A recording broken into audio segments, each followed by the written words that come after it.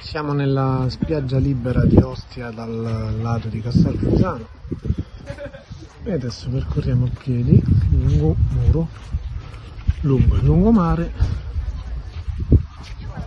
per vedere quanto manca alla prossima spiaggia libera.